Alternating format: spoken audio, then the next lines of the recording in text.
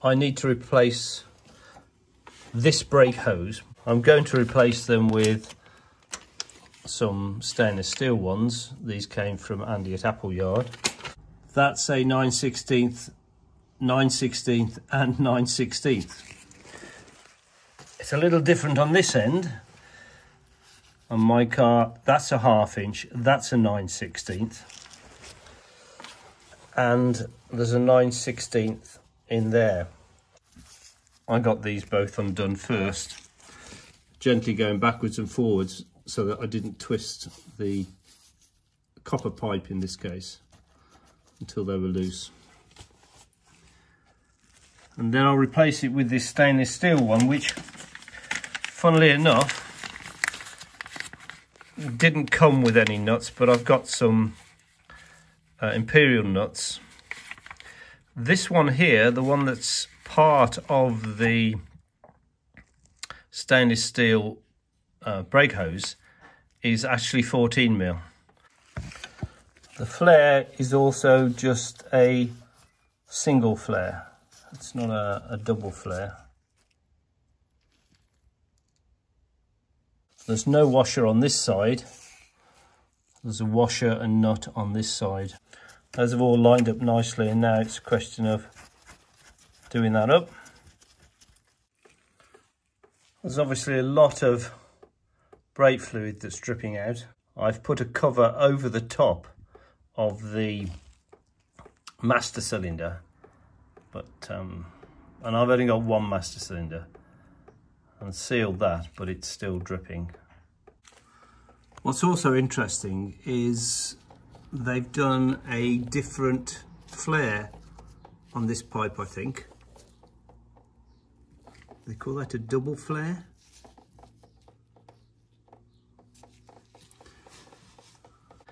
Whoever made these aftermarket ones, I'm not sure which should be the correct flare to go on there.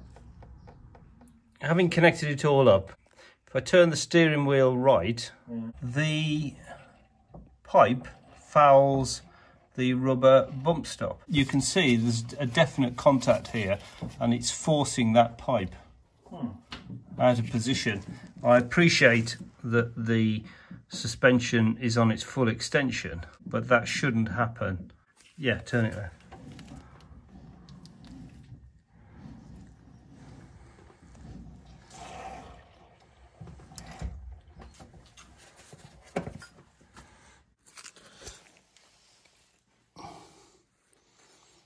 Looking at the brake hose on the other side, the original hose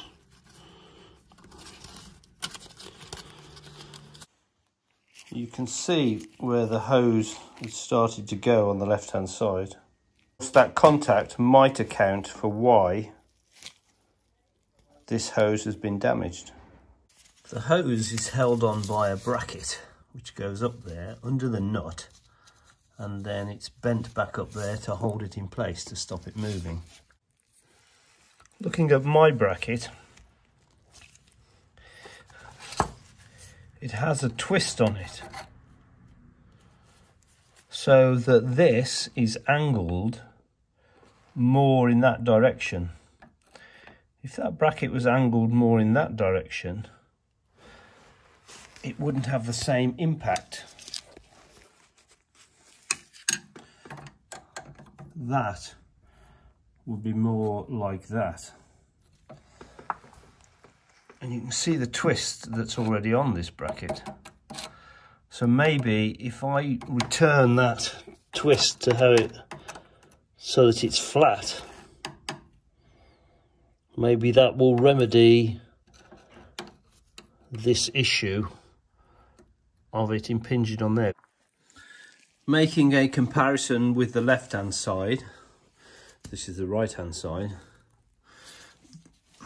this bracket is, is flat, where the other bracket had a twist on it. I've just bent it a small amount and now at full lock it's no longer up against that mount. So I think the problem was simply that this bracket had a significant twist on it. Now the angle is much improved at full, full lock and we're missing that. Taking that twist out carefully because of the, the brake pipe and that seems to have resolved it. And now that's the, the brake pipe at full left lock. So I'm happy now.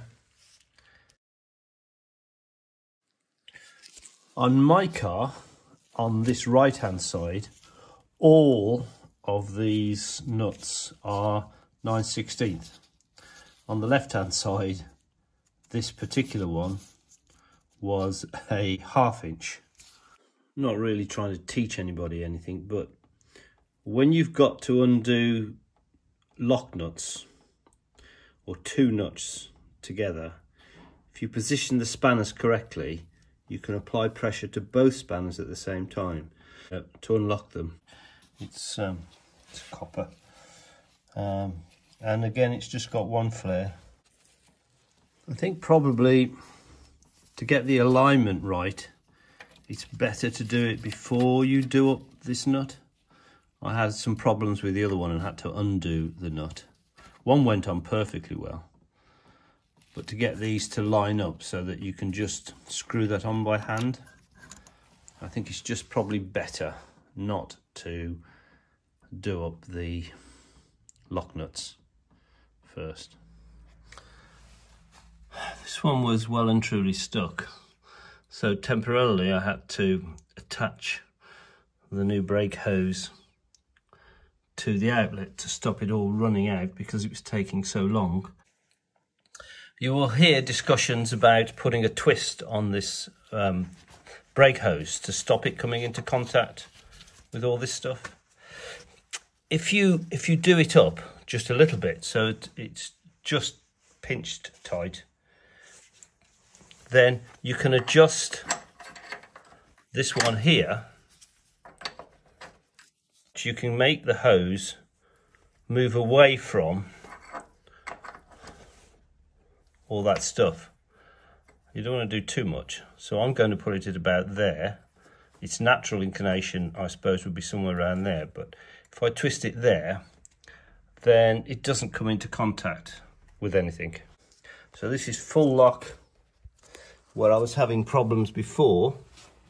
On the other side, where it was coming into contact with the bump stop.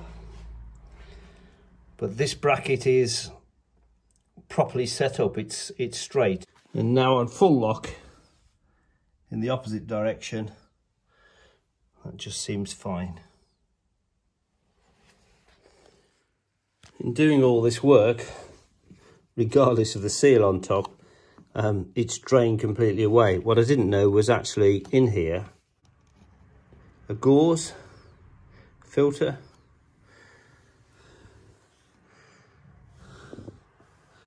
Cleaned out the brake cleaned cleaned out the cleaned out the cleaned out the brake fluid reservoir and filter.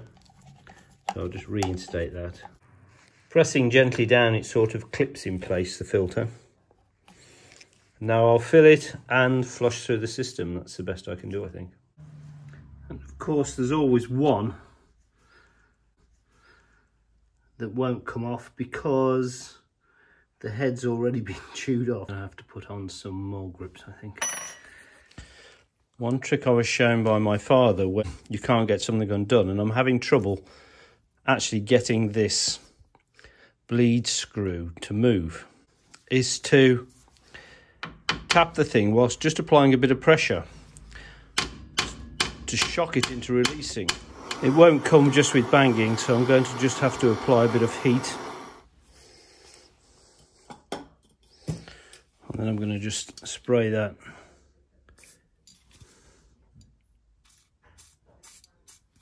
the nipple.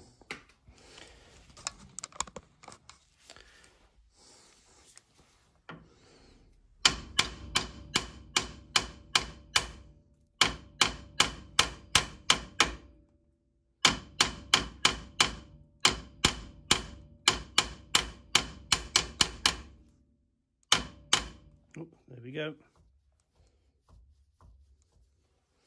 Well, that worked perfectly. For the video anyway. I couldn't have asked for better.